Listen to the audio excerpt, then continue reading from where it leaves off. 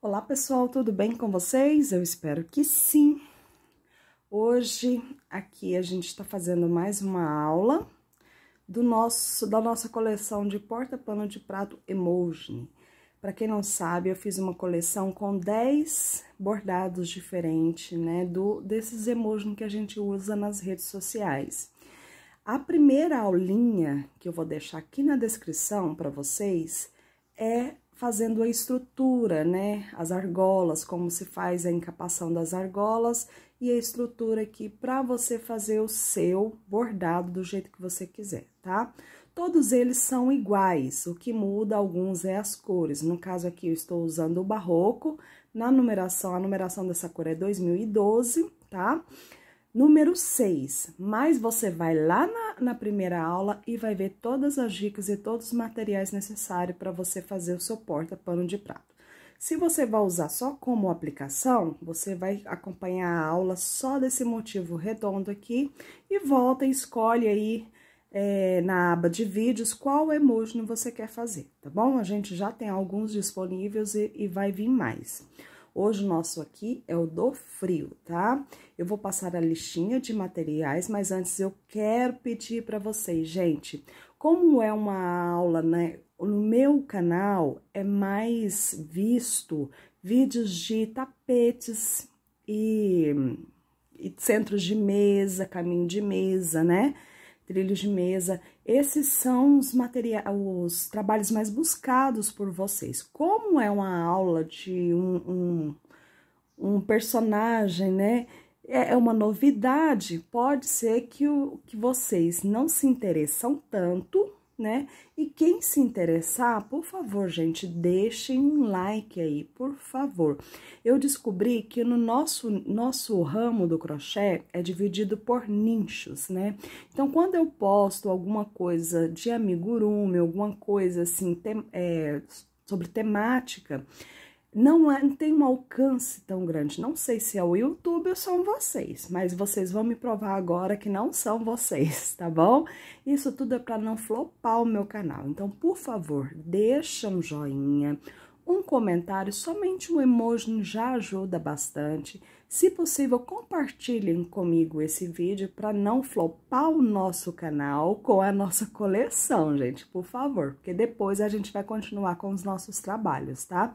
Até o YouTube entender para quem ele entrega, né, os nossos trabalhos. Como não é uma coisa não é uma coisa que eu tenho costume de fazer, o YouTube também fica meio desesperado, né? Não sabe o que, que vai fazer com o vídeo. Então, você ajuda muito curtindo e comentando e, se possível, compartilhando, tá bom?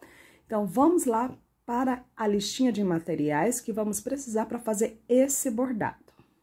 Então, vamos para a lista de materiais somente do bordado. Como eu disse para vocês, a da estrutura, né, e das argolas, tudo, eu passei no primeiro vídeo, tá? Bom, pessoal, como eu estou falando em todos os vídeos, você usa o restinho de linha que você tem aí, tá? Eu só tô passando para dar uma indicação para vocês sobre espessura e sobre a, a, tonalidade, tá? Mas o que você vê aí que combina, né, com o friozinho, um cinza, um preto, né, que combina com o frio e não deixa muito... É pesado a sua peça, uma peça bem harmônica, né? Você pode estar utilizando, tá? Nesse caso aqui, eu usei o fio charme para as partes branquinhas, tá? E para o olho e esses detalhes da boca e sobrancelha, também o fio charme nessa cor, que é a 2931, o náutico, tá? É cor 2931. E o fio branco, 8001. agulha 2,5 milímetros. E vamos precisar também de cola pra gente colar, né, todos os detalhes aqui, ficar bem bonitinha a nossa peça, tá bom? Só esses os materiais, mas vou, é só uma indicação, você pode usar o restinho que você tem em casa, porque usa muito pouco tá bom? Ao menos que você for fazer de grande escala, né? Para presentear todo mundo da, da sua casa, da sua vizinhança. E é um mimo legalzinho aí que você pode presentear é, ou então fazer para venda também, que fica muito legal, tá bom? Então, vamos lá para a nossa aulinha agora. Eu espero que vocês gostem. Pessoal, antes da gente iniciar o nosso trabalho, é, deixa eu falar como é que vai ser no final, tá? Eu vou ensinar você a fazer o bordado e no final do vídeo eu vou estar ensinando é, para você fazer a colocação das argolas e fazer, né, prender esse aqui para fazer esse detalhe, tá? Então, se você for fazer o porta-pano de prato completinho, você vai chegar a essa parte do final do vídeo, porém, ele não vai estar tá com essa cor, tá? Então, mas é, é o mesmo procedimento para todos os porta-panos de prato, é a mesma coisa. Você vai ver uma diferença da cor e talvez até do modelo, mas pode é, seguir em frente que vai ser a mesma coisa, tá? Pra gente iniciar, a gente vai fazer o olho e eu vou aqui colocar dois fios do Anne, tá? Como é que eu fiz aqui, ó? Separei num pedaço, né, bom com dois fios para ele ficar mais robusto, né, mais gordinho, tá? Se você fizer com um fio, se você tiver um fio mais grossinho aí, pode utilizar também tá? Só nessa parte desse olho aqui que a gente vai fazer isso. Vou fazer um nó inicial. E aqui eu vou fazer uma, duas, três correntes. Vou dar laçada no fio, vou vir na primeira correntinha que eu fiz e vou fazer um meio ponto, deixando o último fio da laçada na agulha, ó. Tô com dois fios, tá? Tá aparecendo mais aí porque ele tem dois fios, né? O o trabalho que a gente tá fazendo. Dois fiozinhos aqui, então tá aparecendo, mas é dois fios na agulha que eu tenho, ó. Um, dois. Faço novamente, dou a laçada na agulha, venho no mesmo buraquinho que eu fiz o, o primeiro, né, e o segundo, ó. Dou a laçada no fio, agora sim eu vou fechar todos juntos, tá? Deixando ele aí, você viu que eu puxei aqui pra ele ficar bem retinho, tá?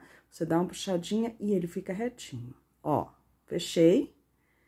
Dou laçada de finalização e posso cortar aqui, ó.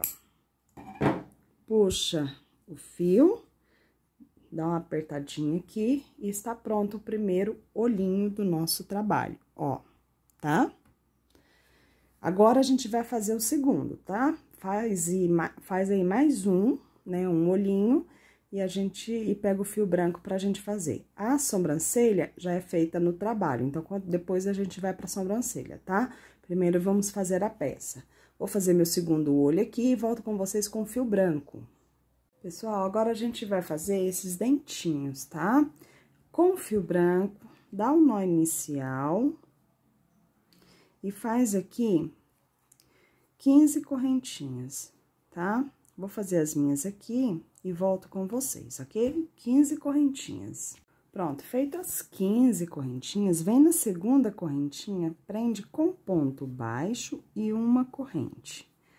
Agora, você vai seguir ponto a ponto, um ponto alto para cada ponto da base, tá?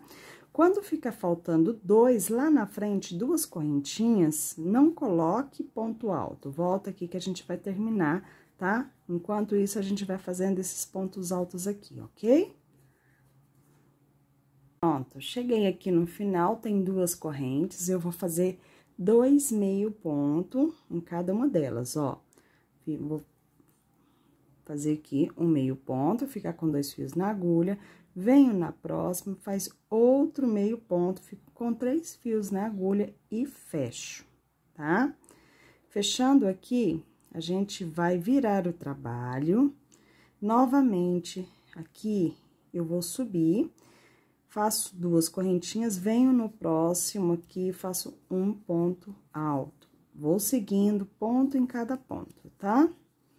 Até chegar lá novamente e ficar faltando dois fios na agulha de novo. Tá? Dois, dois pontinhos aqui, né? Sem fazer, ó. Tá? só caminhando, ó, ponto em cada ponto. Fico prestando atenção lá no final. Quando ficar dois pontinhos... Pronto, cheguei aqui, ó. Aqui a gente tem aquelas três correntinhas, né? Ó, vou fazer mais um ponto alto aqui. Aqui a gente tem aquelas duas correntinhas, as três correntinhas, né? O que a gente iniciou, ponto baixo e a correntinha. Eu venho no ponto alto, faço um meio ponto, e em cima dessa última correntinha aqui, outro meio ponto, ó. Tá? E fecho todos juntos. Aqui eu posso cortar e deixar aqui, ó. Escolho um lado, né? Qualquer um lado e escondo esses fios, tá? Lembrando que o lado que você vai esconder os fios é o lado que vai ficar colado, tá? Aí, você escolhe um lado, qual que você achar que fica melhor aí, pra você posicionar na sua peça, ok? Então, vamos aqui agora para o próximo trabalho, que é essas, esses flocos de neve, né? Pra gente iniciar a colagem. Tem dois tamanhos de flocos, né? De neve, um, dois menores e um maior. A gente vai começar a fazer o maior primeiro, tá? Do, faço um nó inicial, né? O, o nosso anel mágico, tá? Ó, dou a voltinha no fio, venho aqui, busco ele. E aqui eu vou subir nove correntinhas, tá? Uma, duas, três, quatro, cinco, seis, sete, oito e nove. Volto aqui, faço um ponto baixíssimo, baixíssimo, tá, gente? Depois dessas nove correntes, vou subir uma de cinco. Uma, duas, três, quatro e cinco. Volto, prendo com um ponto baixíssimo. De novo com nove, eu vou intercalando, nove, cinco, nove, cinco, tá? Nove de novo três, quatro, cinco, seis, sete, oito e nove. Venho e faço ponto baixíssimo. Agora, de cinco. Uma, duas, três, quatro e cinco. Até agora, eu tenho duas de nove e duas de cinco. Eu tenho que ter quatro de nove e quatro de cinco, tá? Então, vou aqui de novo, ó. Uma, duas, três, quatro, cinco, seis, sete, oito e nove. Volto, prendo com ponto baixíssimo. Agora, de cinco. Dois, três, quatro e cinco. Volto e prendo com ponto baixíssimo. Nove novamente. Duas, três, quatro, cinco, seis, sete, oito e nove volto e prendo com ponto baixíssimo, e agora só a última de cinco, tá? Uma, duas, três, quatro e cinco. Tem que olhar aqui se eu tenho quatro pontinhas de nove, ó, uma, duas, três, quatro. E quatro de cinco, uma, duas, três, e essa que eu tô fazendo, quatro. Agora, eu prendo com ponto baixíssimo corto o meu fio, subo aqui, né? Venho, ó, e fecho o meu anel mágico. Na que eu fecho, já dá pra ver a estrelinha, ó. Essas duas pontas, eu vou amarrar, trazendo uma pontinha pro lado de cá, ó. Uma delas eu trago pra cá e vou amarrar fazendo dois nozinhos. Não precisa fazer acabamento aqui, porque vai ficar colado, não vai ficar visível, tá? É só a parte da frente que a gente tem que focar, ó. Corto o fio. Você tem a estrela maior já pronta, tá? Dá uma abertura nela aqui, na hora que você for colar, tá bem abertinha, tá bom? Agora, a gente vai fazer a menor. A menor, do mesmo jeito que você vai iniciar. Nó inicial, só que ela, você vai fazer o seguinte, você vai fazer a primeira de cinco, uma, duas, três, quatro e cinco. Volta e prende com ponto baixíssimo na argolinha. Depois, uma de três, uma, duas, três. Volta e prende com ponto baixíssimo. Nessa daqui, a gente vai precisar de três de cinco e três de três correntinhas, tá? Ó, vou fazer a segunda de cinco correntes. Depois, três correntes. Volto, prendo com ponto baixíssimo. cinco correntes, que é a nossa última. E três correntes. Ponto baixíssimo, tá? Então, eu tenho que contar para ver se tá certinho. Uma, duas, três de cinco correntes e uma, duas, três de três correntes. Feito isso, corto o fio, levanto ele para cima, fecho o anel mágico e amarro aqui de trás. Pego um fiozinho, ó, aqui de trás para passar ele pro meio, tá? Só não pode amarrar ele muito na beirada, porque senão vai ficar visível. Então, fecho aqui, dou dois nozinhos. Depois, essa parte aqui do avesso fica colada, tá? Você vai fazer outra dessa e deixar reservado pra gente agora fazer a montagem, tá? Então, faça aí, é uma da grande e duas da pequena, ok? Bom, pessoal, a primeira coisa que a gente vai precisar agora, ó, peguei a base redonda, cola do meu lado, eu tô colando a cola, e até indico vocês, pra ficar melhor, ó, pegando uma agulhinha, né, essa aqui minha até tá, tá grossinha, uma mais fina seria melhor, tá? Porque os detalhes, quando chegar aqui, eu vou até precisar de uma mais fininha. Porque é bom você colar assim, pra não ter meleca no seu trabalho, tá? Como eu disse pra vocês, escolhe um lado, né? Eu escondi o fio desse lado aqui, vou posicionar os meus dentes aqui, ó. Tá vendo? Entre a primeira carreira, a segunda, quase chegando na terceira, bem no meio dele, ó. Centraliza, né? No meiozinho, e cola aqui, ó. Você vai usar uma, duas, três carreiras, tá vendo que eu tô com a beiradinha aqui da terceira carreira? Nessa posição, você vai fazer a colagem dos seus dentes, tá? Eu vou colar o meu aqui, já volto com ele coladinho. Pessoal, passei a cola aqui, ó, tá? E quando eu venho assim, ó, eu venho fazendo um Vzinho, tá? Pessoal, vocês me perguntarem, se eu ver no comentário, como você cola, eu vou ficar brava com vocês, só passar a cola aqui e prender, tá? Só que aí, com a cola ainda molhadinha, eu dou, faço um Vzinho aqui, ó, nas pontinhas, tá? Porque mesmo que a gente diminuiu aqui na ponta, talvez ele fica quadradinho. Eu quero que ele fique no formato assim, ó, tá? De Vzinho aqui, tá bom? Feito isso, a gente vai para a colocação dos olhos. Os olhos, eles ficam aqui, ó, nessa posição um e nessa posição o outro. Você tem as duas, né, argolinhas aqui, para você amarrar lá atrás, tá? Então, eu venho na terceira carreira, uma, duas, três, faço a medida aqui, ó, para ver se tá certinho, ó, pra ficar nessa posição. Pego esses fiozinhos e coloco lá para trás, ó, para me amarrar primeiro, para depois colar, tá? Ó. Venho no outro, vejo se tá no lado do avesso. No outro, eu vou pegar aqui, ó. Tá vendo, ó? O outro fio, pego mais embaixo, né? Ó.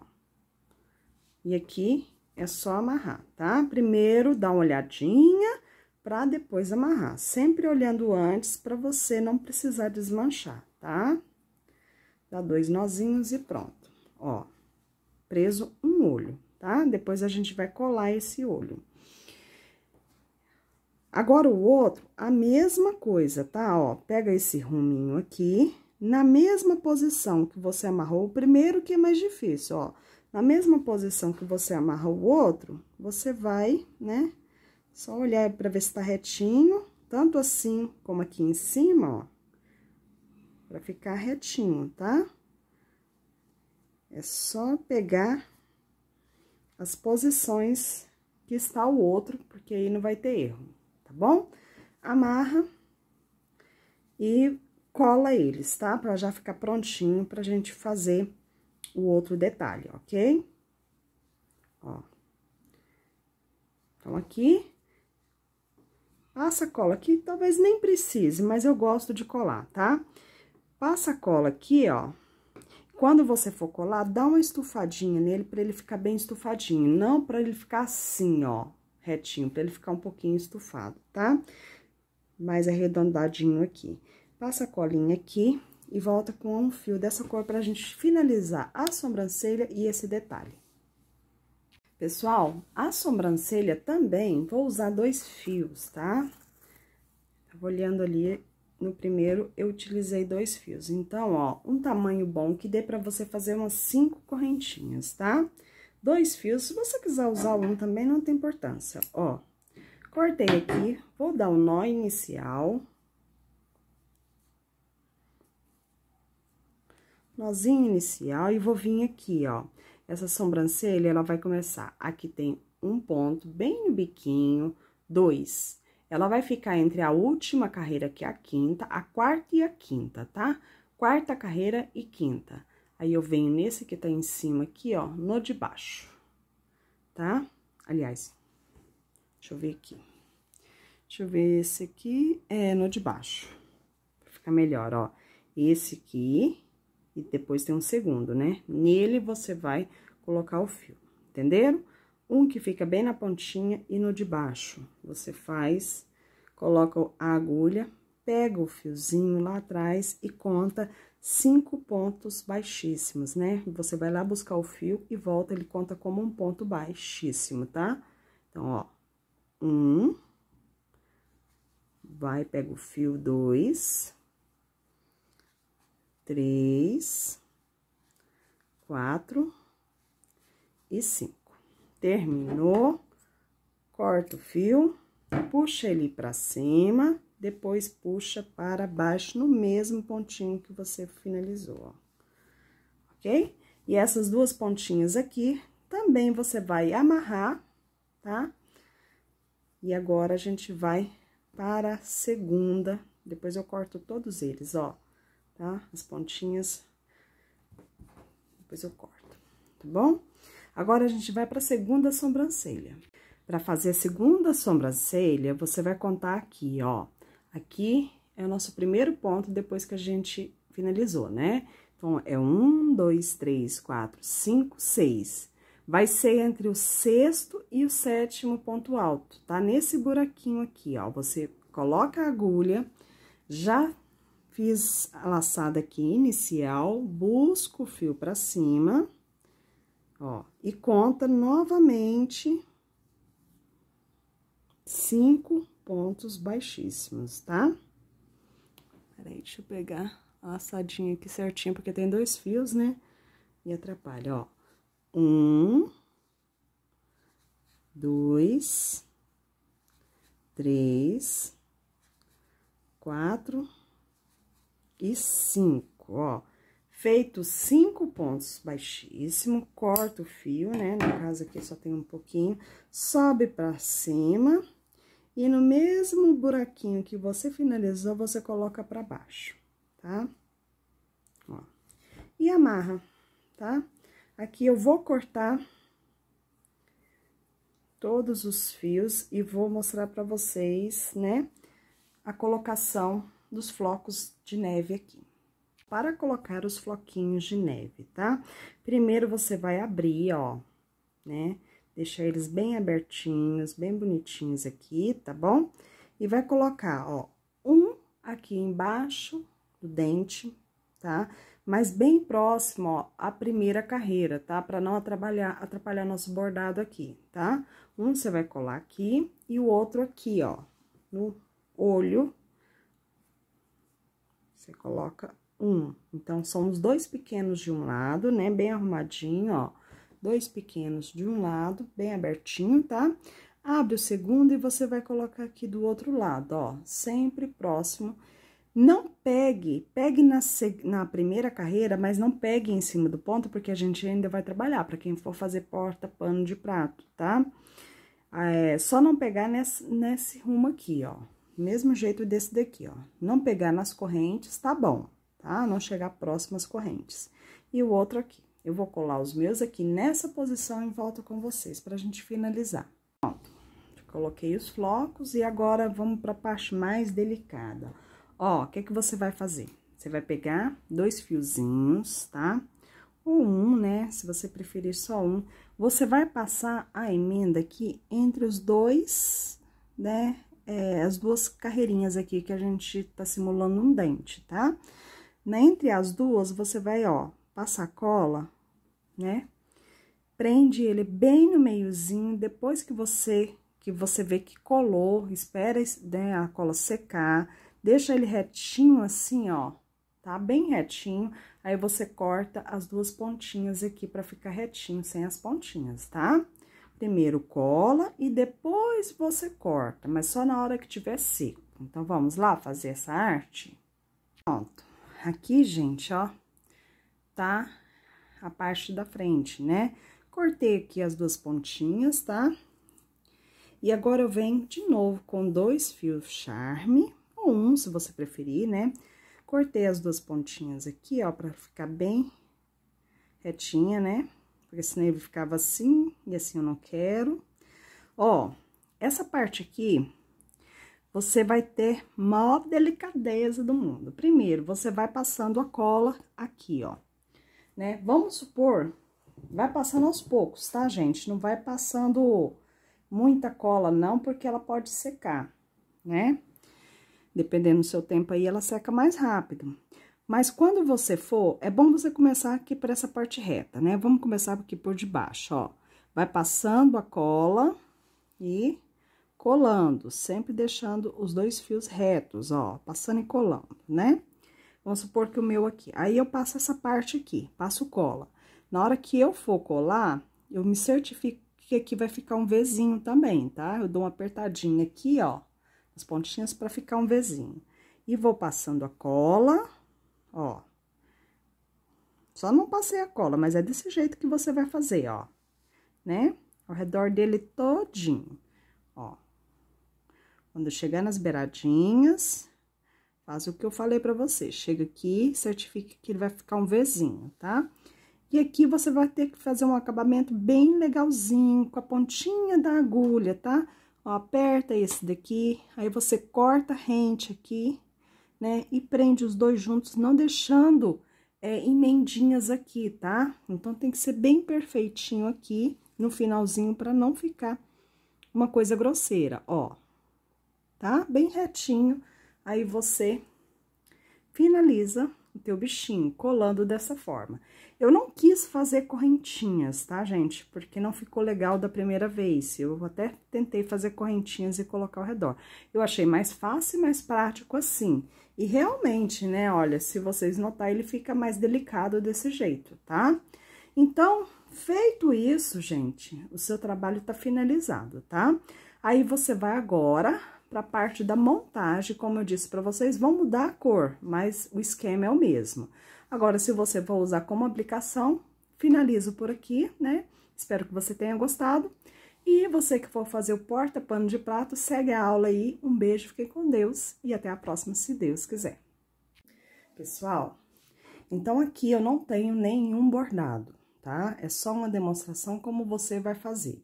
Vamos supor que cada um deles aqui, ó, você já tem a caretinha. Você vai pegar avesso com avesso, vai passar uma colinha aqui, ó, no meio. Também não vou passar porque eu vou utilizar esse aqui nos outros trabalhos, tá?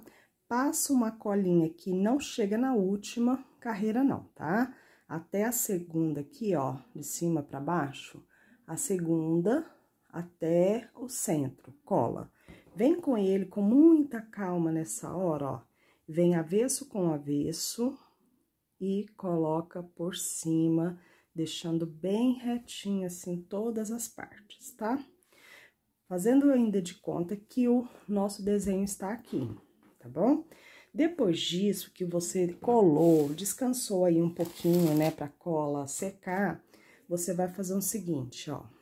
Você vai dar um nó inicial no fio, que é da mesma cor do que você está fazendo.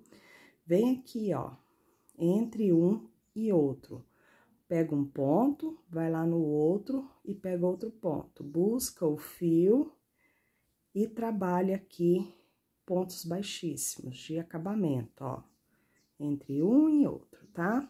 Isso aqui deixa mais forte a sua peça e também deixa harmonia nos pontos, né? Ele vai ficar bem harmonioso, tá? É, se você estiver utilizando uma agulha muito fininha, procura usar uma agulha maior do que você está usando, tá? Pra ele ficar bem frouxinho e não apertar tanto, ok? Vai trabalhando isso por toda a volta. Vamos supor que eu terminei o meu. Eu vou cortar o fio aqui, mas você está imaginando que eu terminei, tá? Vou aqui, não olhem pra cá, tá? Faz de conta que eu cheguei até aqui, ó. Vamos supor que eu estou trabalhando, que eu vim até aqui, tá? Ó, vou chegar aqui para trabalhar alguns pontos com vocês, ó.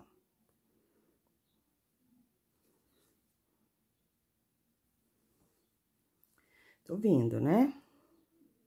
Na imaginação de vocês, eu trabalhei ao redor todinho. Vocês vão fazer isso com de vocês, tá? Ó, tô vindo, cheguei aqui e já estou visualizando o primeiro que eu fiz aqui. Quando eu chego nele, ó, parei aqui, fiz o último aqui e o primeiro está aqui. Quando eu chego nele, eu corto o fio, puxo ele pra cima Venho aqui nesse primeiro que eu fiz, ó, pego as duas argolinhas de fora pra dentro, pego o fio, jogo pra fora. Venho aqui nesse último que eu fiz aqui, ó, apenas numa laçadinha. Ó, tá vendo ele aqui? A, a tesoura, a agulha tá grande. Aqui em cima, ó, você pega ele aqui só uma laçadinha, tá? E traz o fio para fora, ó. Aqui ficou um acabamento perfeito, tá? Dá uma ajustadinha para ficar igual os outros pontos. Aí, esse fio aqui, você coloca ele para baixo, né? E arremata, tá? Agora, a gente vai posicionar, ó, você coloca ele para baixo aqui e arremata do lado do avesso, porque o nosso bichinho imaginário está aqui na frente, tá? Depois que você fez isso, agora a gente vai posicionar as argolas que tem uma dica muito importante para vocês. As nossas argolas, né? Você vai fazer o seguinte, antes de você é, colar, não tenha pressa de colar ou costurar, você vai posicionar ela, nem que seja com pinguinho de cola, tá? Ó, eu deixei esses fios aqui só pra mostrar, fazer a demonstração de colagem, tá? Mas você vai pegar seu bichinho, meu aqui só tem um, né? Porque eu não fiz, eu falei pra vocês. Você vai pegar seu bichinho primeiro, vai fazer o seguinte aqui, uma estratégia aqui. Aqui, entre uma argola e outra, eu preciso pelo menos de três dedos, tá? Ó, uma, duas, três. Na terceira carreira, você cola a maior e aqui também, ó, uma, duas, três, na terceira carreira a menor, posicionando. Só que tem o seguinte, gente, antes de você colar, você olha pra caretinha que você está fazendo e vê se a argola tá certinha aqui, ó. Porque senão ela vai ficar torta, ó, vai ficar assim. E depois de colado, né, costurado até que você desmancha, mas colado. Então, para evitar, com muito cuidado, você virou, aí você vem aqui, ó, dá dois pinguinhos de cola, né? Para firmar, tanto de um lado quanto do outro, ó. Aí você espera colar, né? Deixa descansando um pouquinho, tá retinho, bonitinho, deixa descansar. Depois que descansou, aí sim você vai costurar ou então terminar de colar, tá? Olha bem para ver se essa parte tá do lado do direito, essa daqui, faz com muita calminha, porque você tá fazendo uma pecinha bem delicada, né? Então, faz com muita calma, tá? Assim, ele vai ficar bem estruturado, ó, e não vai ficar torto. A caretinha, por ela já estar, né, bordada, ela não vai ficar tortinha, né? Não vai ficar estranho o seu bichinho, vai ficar bem retinho. Todos eles feitos da mesma forma, tá bom? Então, com isso, a gente finaliza mais uma aula, né?